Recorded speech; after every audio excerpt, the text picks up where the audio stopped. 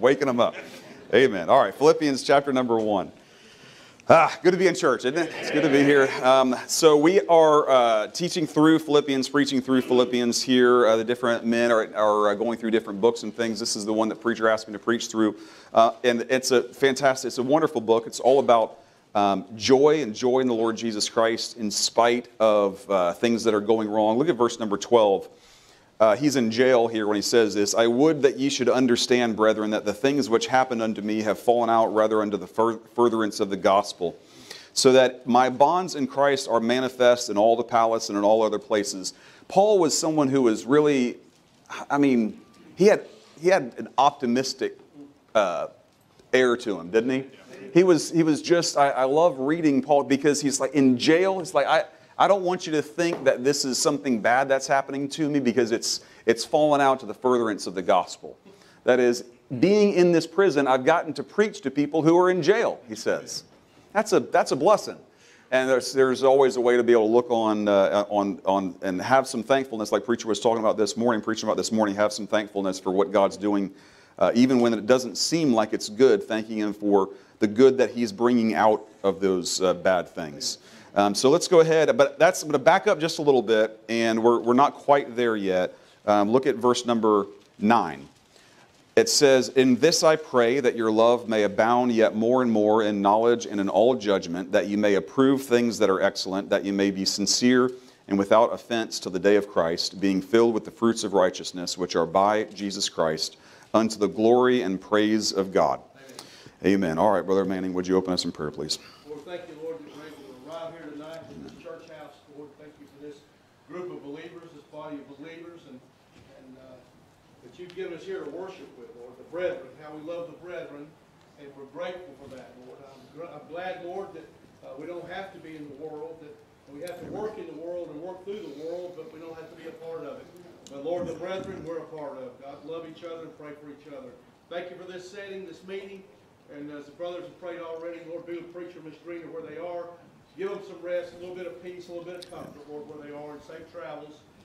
And we come to this hour, God, now lift Brother Sam, our Brother Sam up to you, and as well as the other men here that fill the pul- pulpit. But tonight, Brother Sam, I pray, God, you'd use him in a mighty way. Help him to teach to us, to preach to us, to give us the Word of God. And Lord, uh, as he mentioned, uh, Lord, how we find ourselves at different places, as our Brother Paul did, Lord, and help us to use those places, Lord, the, for the benefit of Christ. That we may have good conversation and holy conversation and pure conversation to uplift our situations where we may find ourselves. We give you the glory for what's going to be said and done tonight, and uh, use this pulpit in Jesus Christ's name. Amen. Amen. Amen. All right. So, what we're, we're, we're going through this, and one thing that I've noticed um, in reading the, you know, the letter, Paul's letters and the, the epistles is that often, you may have noticed this too. Have you ever been reading his epistles and noticed that he kind of he opens each one with a prayer for the people that he's writing to? Have you noticed this? He says, "I pray that this and this, and I pray that this and this, or pray that this and this." So, I'd like to go through and do a study tonight on Paul's prayers for the people that he has written these letters to. So we're going to go through each letter, maybe not all of them, I kind of group some of them together. We're going to go through each letter and see what it is that he's praying for for these people that he's writing these epistles to, and see if we can learn from Paul's example. It said, he said, Follow me as I follow Christ, right? So we'll see if we can learn something about prayer and about how we can pray and some different ways to pray from Paul's example of prayer. All right? Amen. Sound good? So uh, look at verse number nine. He says, This I pray that your love abounds more and more. Look over at Romans chapter number eight. Let's dig into this just a little bit. So, uh, the, what we're going to talk about tonight, of course, is not all about prayer. This is not some type of a message where I'm trying to get everything that there is to say about prayer. That would, there's been volumes written on that. If you want to read a good book or a good set of books on prayer, if you'd like to work on your prayer life a little bit, um, there's a good set of, a collection of books by a man named E.M. Bounds, and that uh, collection is just on prayer. You can look up E.M. Bounds on prayer, and it's a thick volume. There's three or four books on it, and he goes into all kinds of different things on prayer. If, you if you'd like to try to increase that in your spiritual life, I would highly recommend uh, that volume. It's a really, you can get it on audiobook. You can listen to it as you're driving down the road. It's very, very good. Um, so I, I would highly recommend that. Um, but it's, but I don't want to just be up here and say and, and give the impression that there's some type of technical, this is how you pray, pray for this and this and this and this and this. Because prayer ought to be something that is natural for a Christian. It really is, is if you want to know, are you in fellowship with the Lord Jesus Christ, are you praying? You're not, you're, you're not in fellowship with God if you're not praying to Him.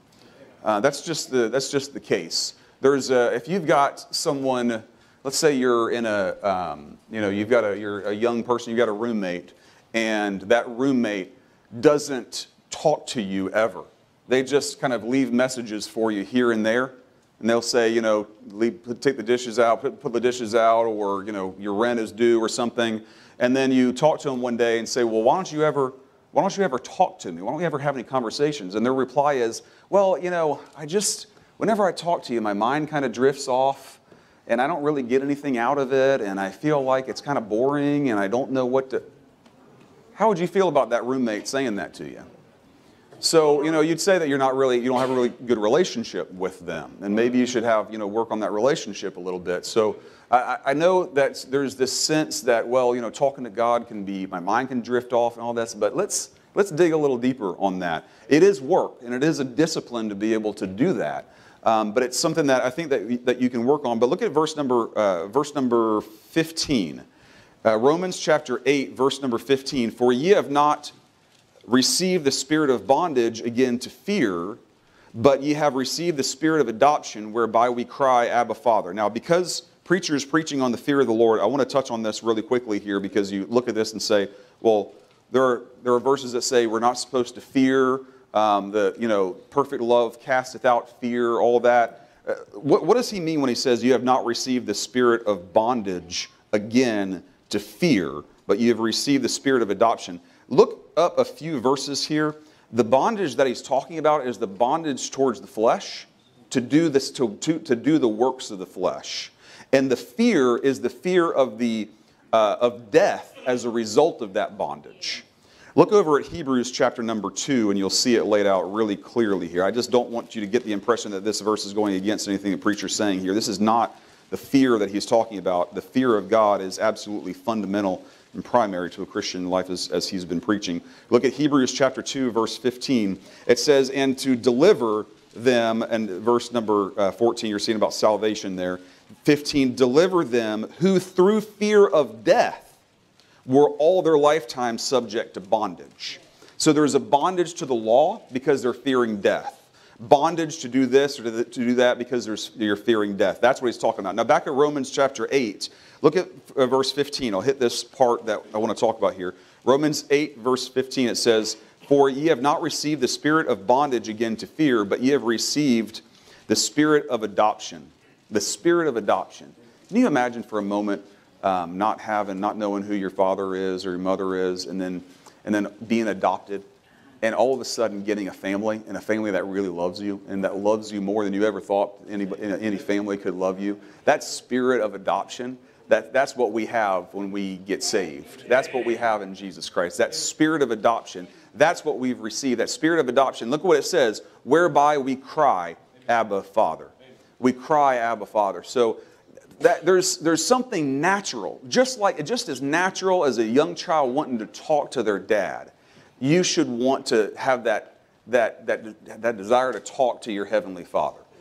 Um, I, I remember there was one time I, I was, uh, I was watching TV, sitting upstairs watching TV, and Sophie came out. Sophie was a little kid at the time, and she came out and she said, Dad, she asked a question about Greek, about the Greek New Testament. What, what does this mean, this Greek, you know, why, the, the originals are in Greek, and why do some of the new translations do this? And do you even remember this? And so, the why do some of the new translations do this? And what's the Greek behind it and everything? And I'm like, oh, this is great. I love to talk about this. I took three years of Greek in school.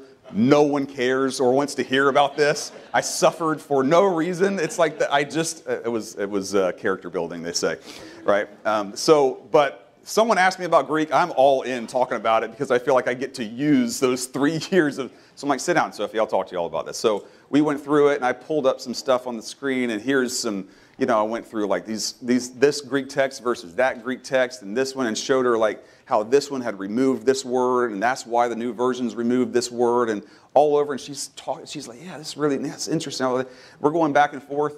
And then I, towards the end, after you know a good 15 or 20 minutes of talking about it, I, I, said, "What is it that made you ask this question? Like, what is it that, like, was there somebody at school that that said that to you, or what, why are you interested in this?" And she said, "Oh, I just wanted to talk to you, Dad." Amen. Amen. Right? Amen. And that's just that's a natural thing. Your, your kids, they want to come talk to you. You want to come talk to your dad. You, there's that spirit of adoption. There's that spirit of, of family. It's like, hey, can we just sit down and talk? You know? Let's just sit down and talk. Have it sitting across for the, the table um, from, your, from some family and just, you know, you, Thanksgiving ought not to be something we dread. It ought to be something we can say, man, it's a blessing to be able to get together with family, with people that we love. Maybe it's not a family, you know, by blood. Maybe it's some church family you can sit down with and have have a meal with. But isn't it a blessing to be able to have some family like that, be able to have a conversation? You know, when there, there's a there's a desire in you to talk to God, and I would just just move towards that. Just just open your mouth and talk to Him. You know. And, and I'm not, I don't want to make this study so like mechanical or technical that you're like, well, I've got to do this or this or this, or I've got to say this or this. No, it ought to be just as natural as talking to your Heavenly Father. Now, I like this, and I can't avoid saying it. I've said it here before when we sing that song. Um, what's the song we sing uh, that says Abba Father? Uh, Father, Abba, Father, cry. Arise, my soul, arise, right? He says, and Father, Abba, Father, I've mentioned it before, but I heard somebody say, somebody say one time that Abba is spelled the same way backwards and, and forwards. You notice that? A B B A, spelled the same backwards and, and, forwards. And God is your Father, and you want to talk to Him whether you're backwards or whether you're forwards with Him. And if you, when you're close to God, you want to talk to Him. And when you're far from God, you want to talk to Him. Get close. It's, God, I need to talk to you about this. I'm far from you. And that's good. That's a good thing. Um, so let's talk about this a little. Let's, let's dig into this and see how Paul is going through this here. Let's look, look back at Philippians chapter 1. I'm going to touch just really quickly on the different places in the, different, in the beginnings of the epistles here, and we'll see what we can learn from this. Philippians chapter 1. What are some different things that we can learn from Paul that will help us to not just say the same thing over and over, you know? You get in prayer, you pray the same thing over and over, and it's like, well, I'm just, Lord, thank you for the food, thank you for this day, thank you, you know, that's it. Just saying the same thing and pray for the preacher and pray for his wife and pray for the church and pray for and we get kind of a little bit rote and a little bit kind of mechanical in that. So there's a few different things you can get. Maybe you say, well, I didn't think to pray for that. Well, I didn't think to pray for this. Maybe we can kind of think to pray for some different things as Paul lays it out here. You'll notice they're spiritual things. Chapter 1, verse 9. This I pray that your love may abound yet more and more. So at the beginning of the letters here, he prays for the things that he's teaching them. He's praying for the things that he's teaching them. What you'll see, if you want to know what, what a letter is about, look at the prayer. And he prays in about three sentences what he's about to teach them in about three chapters. That's what's happening here. So if you read the book of Philippians and then you go back and read the prayer at the beginning, you'll say, oh, he was praying. He prayed this. And then he goes and he teaches them what it is. But he prays for. So, in this right here, for example, he's going to pray about knowledge and judgment and approving things um, that are excellent, sincere without offense. He's about to go into that in detail throughout the book of Philippians, but he prays for it at the beginning. Now, we get a lot of teaching and preaching here at our church. How much are you praying about it? How much are you praying about it? Now, I know you can come to the altar and pray about it afterwards, but I'd encourage you to pray about those things. Maybe write down something as God gives it to you God gives you something, write it down on a little note, stick it in your pocket, and then pick it up later and say, Lord, I want to pray about this thing that I've been learning. How much have you prayed for the fear of the Lord throughout the past few weeks? Amen? Say, well, Brother Sam, I, my prayer life is getting a little dull. I'm praying the same thing over and over again. Well, you're hearing something different every week. Pick it up, put it in your pocket, pray for it throughout the day. Pray, Lord, Lord, help me to understand what the fear of the Lord, Lord is. Help me to think about the judgment and not and, and how and how I'll, I'll be judged for these things like he preached about this morning, right? Praying for those things, praying for what it is that you're learning about. It's a blessing because, you know, we don't have to learn it on our own without the Lord's help. Judah uh, has a tutor at the house, and uh, Judah, he's got somebody comes by every Tuesday or Wednesday or whatever. It's a teacher, and she comes and sits at the kitchen table and she teaches him math. You say, Well, Sam, why don't you do that? I don't know how to do it. Uh, my, I don't understand Judah's math. He's way past me. It's in seventh grade or whatever. You know, he's, he's way past me at this point. I don't know. The way they do math these days is very, very difficult. There's a strange thing. Yes, I know how to do math. Okay, I'm not I know how to do math. I don't know how to do that math. Um, I, I tried to help him once, and he failed the homework. It was just, it was terrible. I'm like, this is, this is, this is it. No, that's not it. So we got, a, we got someone who knew what they were doing, someone who knew the textbook backwards and forwards and could sit down with them week after week and teach them. And his grades have gotten really, really good. Really good. Congratulations, buddy. Really good grades. Um, and, and it's because he worked at it, but you know what? He had someone who knew the textbook sitting right next to him when he read it. And you have the same thing with God. You don't have to sit here and say, Well, I don't understand what I'm reading. Pray. Ask the Lord to help you with what you're reading. Lord, will you please teach me what this means? Will you please open it up to me? Because when you sit down, this is the only book that when you sit down, the author of the book sits down next to you every single time you open it up the author sits down next to you while you're reading this book. And if there's something that you don't understand, you can say, hey, author, will you explain to me what you meant by this? And he'll give you some insight into that. Isn't that a blessing? So use that to your advantage. Sit down and pray. And while you're reading your Bible in the morning, pray, Lord, help me, guide me, show me what it is that, I, that you want me to learn from this. So, what is it? Let's get into some more detail here. This I pray, verse number nine, that your love may abound yet more and more in knowledge and in all judgment, that you may approve things that are excellent. So um, he's praying here for the Philippians. In this particular case, he's praying for discernment. And it may be that uh, if you haven't prayed for this yet, maybe, maybe we should be praying for discernment. That is, discerning uh, what it is that we ought to love, what it is that we ought not to love. Now, this is a big deal. Look, look at what he says. He says, I pray that your love may abound yet more and more and a lot of new agers or worldly people will cut that sentence off right there and say, we ought to love more and more. We ought to just love.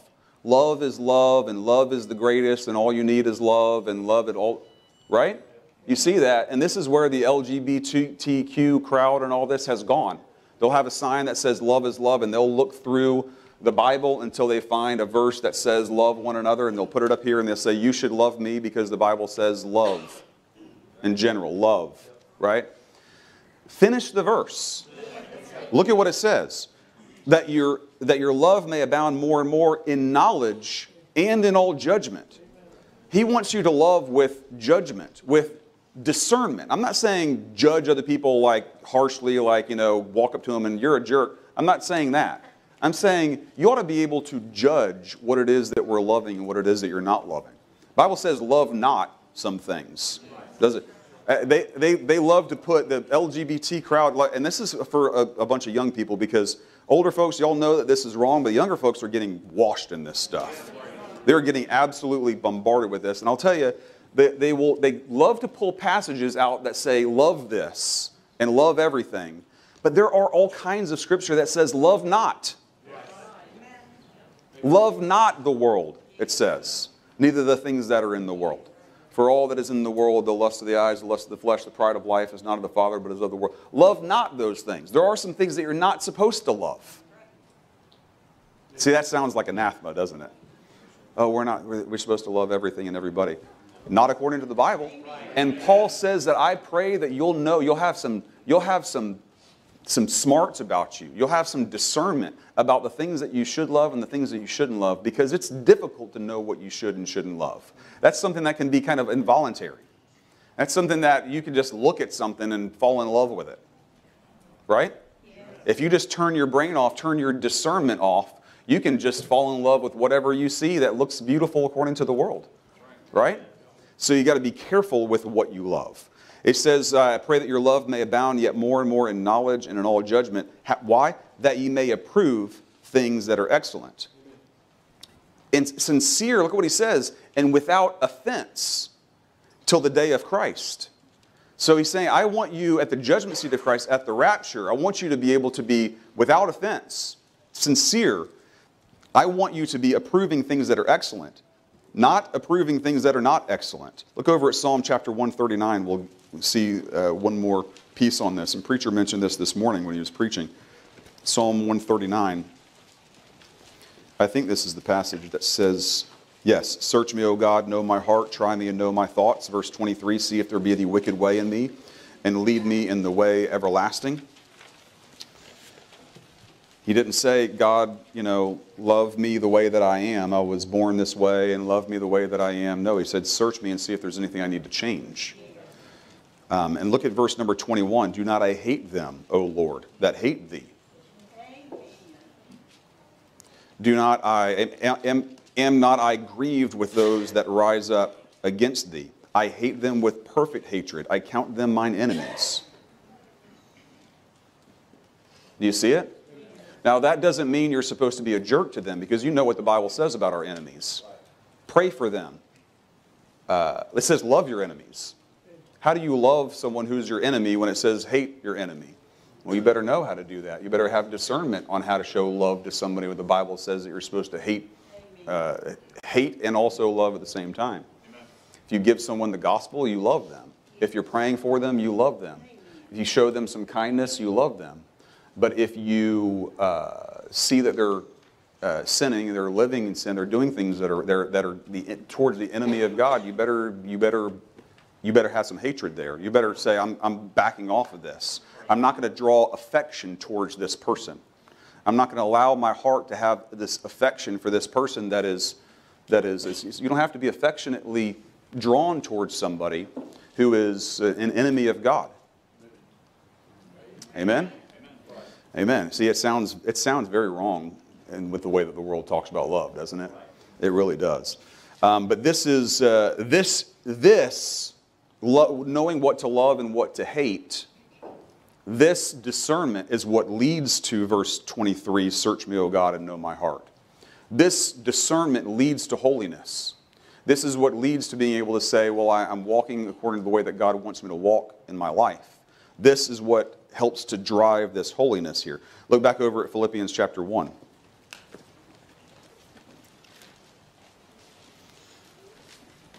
Philippians 1, verse number 11.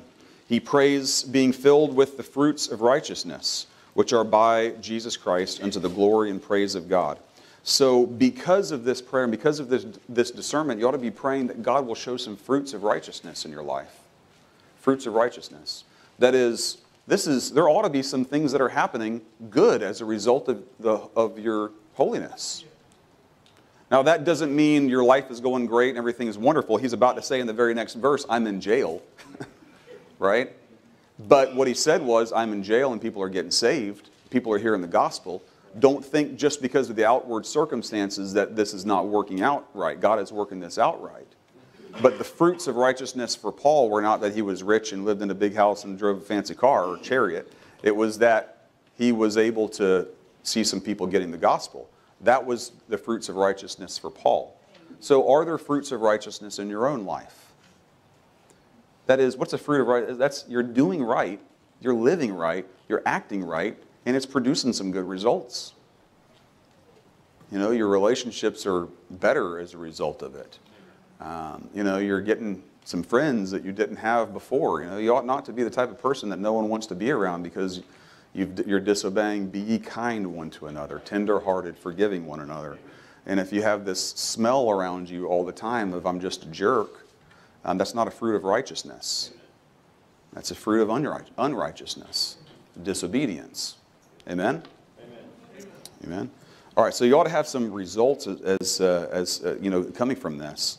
So, this, just this prayer, the very act of coming to God in prayer, is going to help to produce some fruits of righteousness in you. It's going to help to produce some holiness. Isn't it true that just coming to God in prayer helps you just to get right with Him? It's really difficult to just to be to, to have a good prayer life, a good consistent prayer life where you're waking up every morning and you're praying to God, and then just get really, really far away from God. It's really easy to get far away from God pretty quickly. You put the put the prayer away. But that getting in prayer is going to help you with that holiness. It's going to help you there. And I'm not saying it's, you're going to be perfect as a result of it, not by any stretch of the imagination. But you'll see some of those fruits when you develop that prayer life. Okay, so that's like, uh, just as an illustration, you remember the priest in the Old Testament going in before God? And when he went in before God, he went and looked at his reflection in the, uh, in the laver there, in the brazen laver there. And he saw, he saw what needed to be fixed before he went in there. Just going before the throne room of God helps you to see what needs to be fixed about yourself.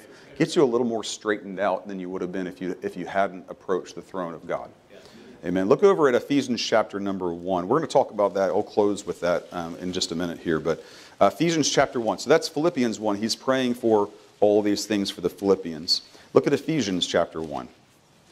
Ephesians one, and we'll hit these things pretty quickly here. Ephesians chapter one, verse number 16 and 15. Wherefore I also, after I heard of your faith in the Lord Jesus and love unto all the saints, cease not to give thanks for you so here's Paul praying a prayer of thanksgiving, making mention of you in my prayers. What is Paul praying about for the Ephesians? That the God of our Lord Jesus Christ, the Father of glory, may give unto you the spirit of wisdom and revelation and the knowledge of him, the eyes of your understanding being enlightened. He's praying their eyes will be enlightened, that ye may know what is the hope of, this, of his calling and what the riches of the glory of his inheritance in the saints, and what is the exceeding greatness of his power to usward who believe, according to the working of his mighty power, which he wrought in Christ when he raised him from the dead and set him at his own right hand in the heavenly places. Don't you love reading the Bible? I could just read this whole passage uh, for you here. What is he saying? He's saying, I am praying that you will know what God is working in you through the power of the resurrection towards heaven. You're working towards eternity. And I'm praying that you'll see that God is working on you towards that eternal glory. That's what God's doing. So you can pray that, that God will give you um, a, a long look at His work in you. Because if you look at just what's going on today, you may say, I am failing miserably. But if you zoom out a little bit and see the big picture, you'll see God is working something in me that may not show up till glory but it may not show up till here. But you may look back on 10 years of a Christian life or 15 years of a Christian life and say, okay, I'd be in a whole lot bigger of a mess, and God is doing something in me that He wasn't. You know, Brother Matt, I heard a story that, about you fishing one time. And I heard a story about how you learned to fish. I'm going to tell this story. I didn't ask him if I could beforehand, but this is a easy, this is a simple story. Um, I heard that you had a book and a fishing book. Okay, and what you did is that you went out and you fished one spot and then you wrote the notes in a book. What you did. Do you remember this even? Don't remember the book. Okay, this is true. You told me. Okay, um, maybe it was a fish story. Okay, this is this is this is what you told me. So he wrote what it was uh, that they learned from this spot in this book, and, and then he, they went and fished another spot and wrote it in a book, and then went and fished another spot and wrote that down. Fished another spot and wrote this down. And I imagine that there are many days that he went out and fished and caught nothing right? So if he was just focused on that one day of fishing, you go out and have a bad day fishing, and that is a bummer. I mean, it's, it's rough. They say a bad day fishing is better than a good day at work. I, okay, that's true, but it's still no fun. at some point, if you're not catching anything, you throw a shrimp in the bottom and you pull up anything, any fish, right, just to get the skunk off the boat. That's the way that it goes. But, but I imagine he had lots of days where he wrote that book Fished this spot, caught nothing. And he just went out there and fanned this, this, uh, this, this shell rake or whatever it was. Sit, caught nothing.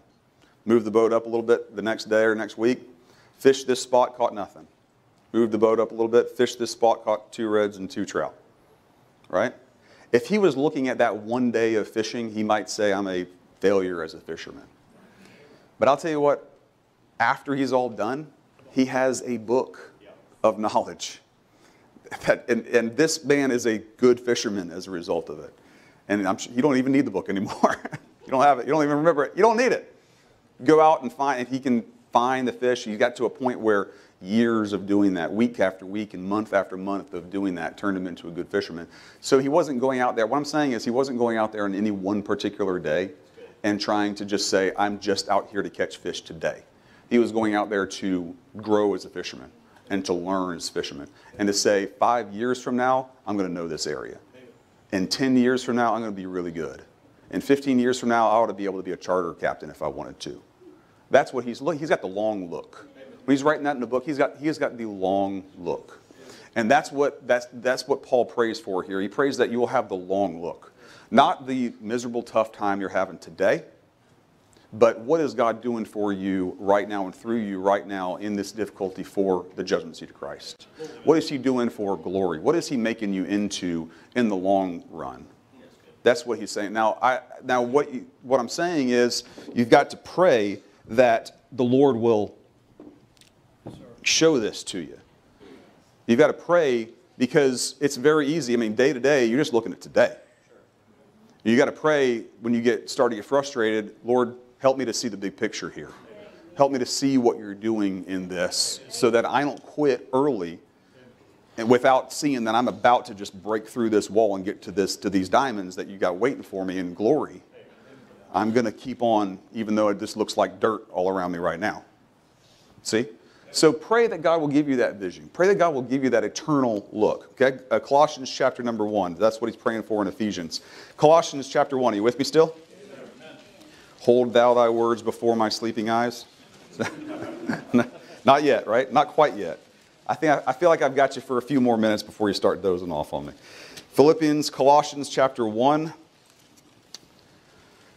Isn't it a blessing to be able to go through the Bible and just learn just from pieces here and there, pick up things like that. It's what, you know, it's like preachers have been preaching through here. Colossians chapter 1, verse number 9.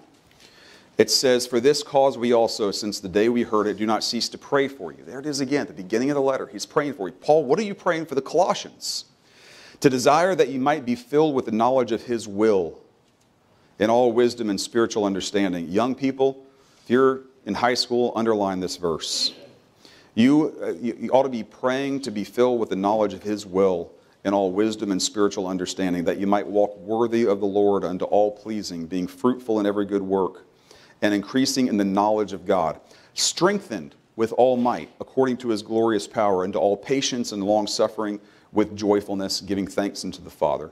So he's praying here mainly that, they'll, that they will know the will of God and that they'll have the strength to be able to do the will of God once they find that out. So, uh, the, one of the biggest questions you get from teenagers over and over and over again is, you know, Brother Sam, how can I know the will of God? How can I know the will of God? You've been a youth pastor for a long time. You hear people, young people asking you that. Say, Brother Sonny, how can I know the will of God? Right? What do you tell them? I don't know. right? You better pray for it. You better get close to the Lord and you better pray. And I'll pray for you as well that God will give you an understanding of what the will of the Lord is, and that when He starts to show it to you, that you'll have the strength to be able to do it. So, older folks in here, we ought to be praying for these younger people that are looking for God's will. We ought to be praying for each other that we're looking that they're, they're looking for God's will. Praying for our, our preacher. What's what's God's will in this church? We got a big building going up here. What's God's will in this? Praying that God will show him what his will is in moving into this building and give him the strength to be able to do that. What's God's will with the situation with Mrs. Peacock? What's God's will with the situation with Brother Richard? And how can we have the strength to be able to fulfill God's will? You can pray for it. When's the last time you prayed that you'd be able to do God's will in your over you know this next week? God, help me to see what your will is this week, and give me the strength to be able to do whatever it is that your will is. Amen. Some extra things to be able to pray for. Look over at 1 Corinthians 1. 1 Corinthians 1. He starts 1 Corinthians with a prayer. Let's see what he says there.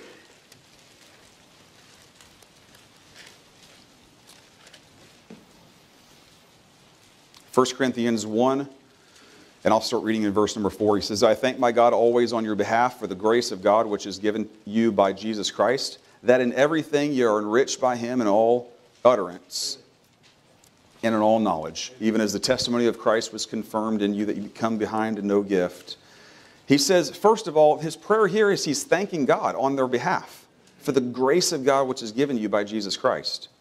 That in everything you're enriched in, by him, in utterance and knowledge. Do y'all know what, what Paul's about to do in the book of Corinthians? He's about to really lay into these to this church for the carnality that they've got going on there. Yet at the beginning, that's why I say Paul is the optimism here is amazing. He doesn't start and say, when I pray for you, you know, I, when I think of you and I pray for you, I say, Lord, why did you saddle me with these nasty Gentiles? Lord, do you see what they are doing? You know, Jonah, do you, did you see what they're doing? How could you send me? Can you just shut it down and we'll start somewhere else? No, he still has some thanks that he's able to do for, that he's able to give to God for these people. What is he, what is he thankful for? That you're enriched by him. The, the, the Corinthians were enriched by God? Yes. In spite of how much of a mess the church was, they were better off than they would have been without God's grace.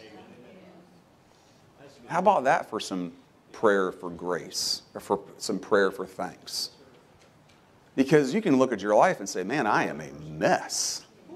I am a mess. And if you're not careful, you'll sit through the preaching here and you'll just be like down on yourself. Man, I, I can't get this thing right. And every time I think I'm making progress, there's another thing I got to do. I'm, I got, I'm wrong, I'm wrong, I'm wrong, I'm wrong. I'm, and you get discouraged and you can get downtrodden and you can get defeated, feel defeated. Being thankful to God in prayer will help with that. Taking some time and thanking God for what He's done in you and how He has grown you over the years and over time, and how He's continuing to work on you, like that song that says the kids sing, He's still working on me. Spending some time to be thankful can really help you not to be defeated with that. Um, I'm coaching Judah's baseball team, and we uh, lost a game the other day, and it was it was rough. We played a doubleheader yesterday. That's why I'm a little sunburned today. It was yesterday, right? Saturday? Yeah. The days blur together, don't they? Yes. So Saturday we played a doubleheader, and uh, and man, it was rough. We lost the first game like 12 to zero. In the second game, we lost like eight to four or something like that. But you know what we did? We played every kid. It was the last game of the season, last day of the season. We played every kid who wanted to pitch. It's a rec league. You know, we're not we're not training for college or anything here. It's just, it's just we're having fun. This is very, this is like Sandlot. We don't do Sandlot baseball anymore because there's no Sandlots anymore. This is like Sandlot baseball. Uh, and so we went out there and pitched kids who had never pitched before, and they were Judah's the catcher, flinging it over his head so much he's jumping up and it's hitting the backstop. He can't catch the ball. It was a mess. It was crazy. And uh, kids who'd never pitched, who didn't know how to pitch, were getting run ruled every inning. It's like mercy ruled every single inning. Six runs, go sit down. Six runs, go sit down. Terrible. And the kids had a blast. They had a blast. You know why? Because it was the end of the season, and they were so much better at the end of the season. There were guys hitting the ball, making connection with the ball that did not know how to swing about at the, at the beginning of the year. And there were guys standing on the mound who were too scared to do that at the beginning of the year. And at the end of the year, they were standing on the mountain throwing pitches in front of a whole crowd of their family. Did they lose? Terribly. and I'm not talking about participation trophies. I'm talking about looking back on that day and saying, man, I'm really thankful for a chance to come out here and be able, it's a beautiful sunny day here, to be able to spend some time with the kids and have some fun and throw a baseball around. Man, what do you, what do you want, you know? What do you want? I know a lot of times what's happening with youth sports is that parents are getting so obsessed with it that if their kid's not winning every game, they're mad and screaming and slamming the stuff down. And how could you, and screaming at the umps and screaming, hey, settle down. Their kid's growing, their kid's learning, their kid's having fun. They're, they're, they're making some progress. And can you, can you just be thankful for that opportunity to be able to do that, you know?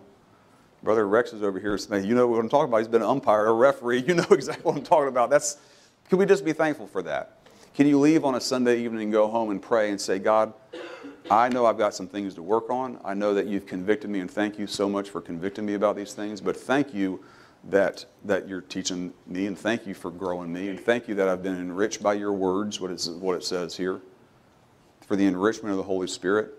Thank you, God, for what you've done in my life. Thank you for the growth. Thank you for the second chance and the third chance and the fourth chance and the millionth chance, and thank you, God, for it. The thankfulness helps you from being de- feeling defeated when you are defeated. I mean, you are defeated, right? You know what we did this week? As far as being a good, holy Christian, we lost 8 to 0. What, seven days? 7 to 0. We lost 7 to 0, all of us. Didn't we?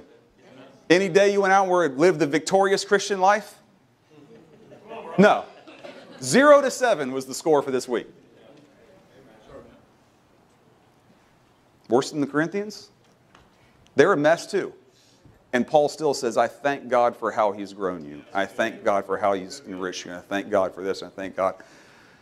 Lord, thank you. Lord, thank you. It goes along with what preacher is preaching about, finding something to be thankful for. There is something to be thankful for. Thankful for God growing you in spite of the mess. Amen. Amen. All right, let's uh, skip down here. Romans chapter number one. I just have two more, and then we'll be done. Romans chapter number one.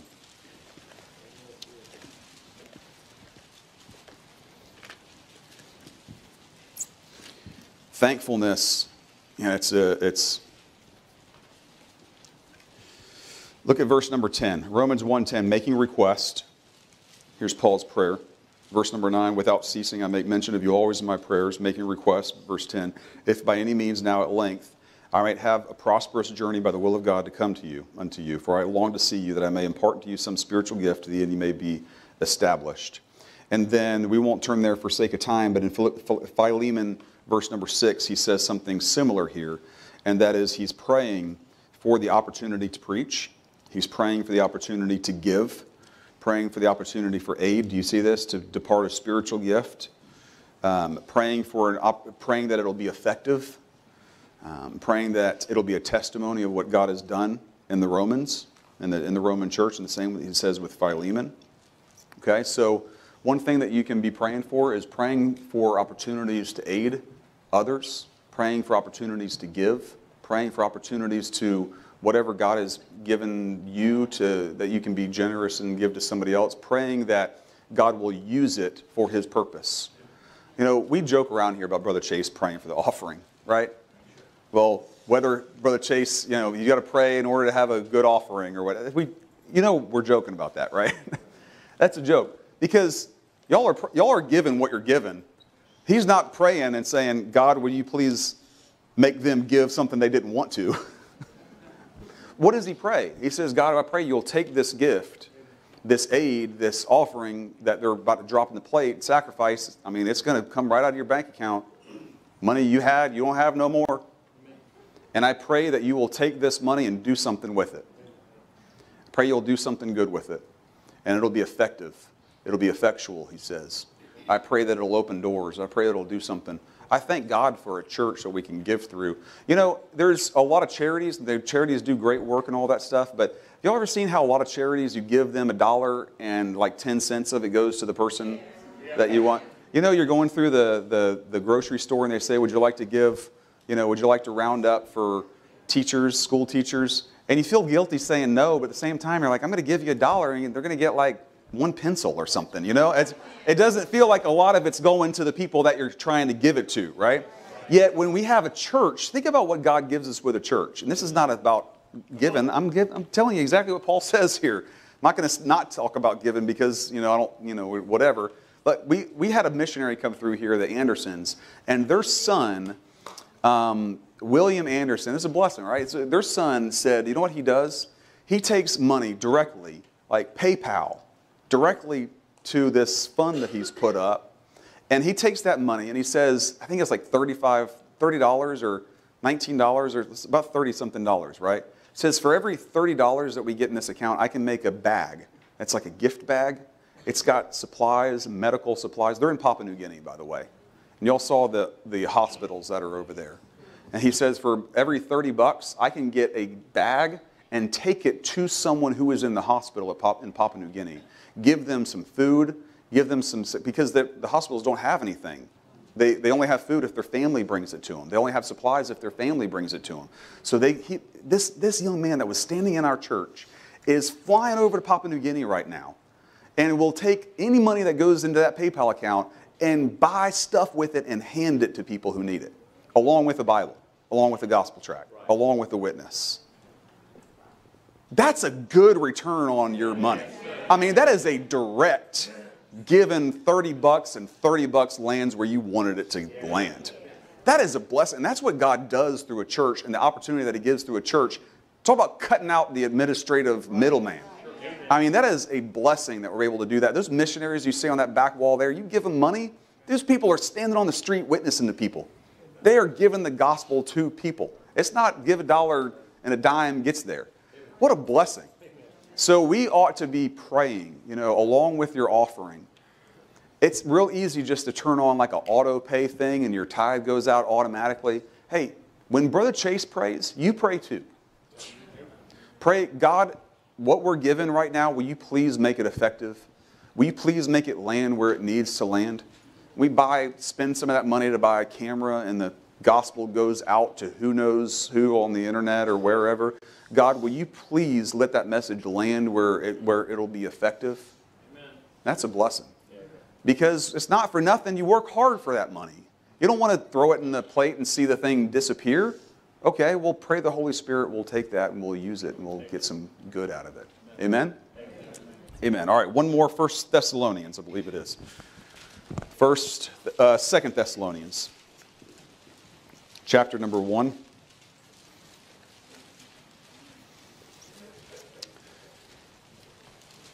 Second Thessalonians. And so, you know, you can continue this study on your own, seeing how Paul is praying for these people. But it, to me, it was just a blessing as we're going through Philippians to be able to study this out and learn from him about the different types of prayers. Uh, Second Thessalonians chapter number 1, look at verse number 7. This is related to that holiness thing we talked about earlier. Verse number 7, great passage here. And to you who are troubled, rest with us. This is people that are they're, they're, they're being persecuted. They're having difficulty. They've got family members um, dying. They're expecting the Lord to come back, and people are dying. They're wondering what's going on.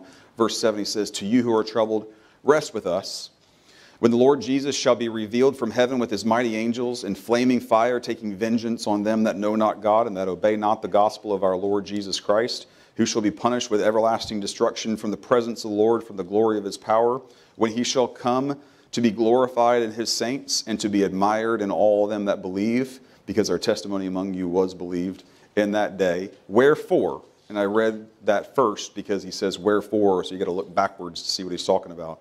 Verse number 11 Wherefore also we pray always for you, that our God would count you worthy of this calling, and fulfill all the good pleasure of his goodness in the work of faith with power. So he says, This suffering that you're going through, we're praying um, that God would count you worthy of this suffering. The struggle that is that you're going through. The suffering, whatever suffering it is, losing loved ones or struggling with your money or struggling to be a good Christian or whatever it is, struggle just to be what it just the struggle that you're going through and you're saying, God, you know, help me through this struggle. Part of that struggle is God drawing you close to him in prayer and getting you closer to him in that struggle so that your walk can be worthy of the struggle and worthy of the problems that you're facing there. It goes hand in hand with holiness because we struggle with God over the things that we suffer. When you have trouble, it drives you to God.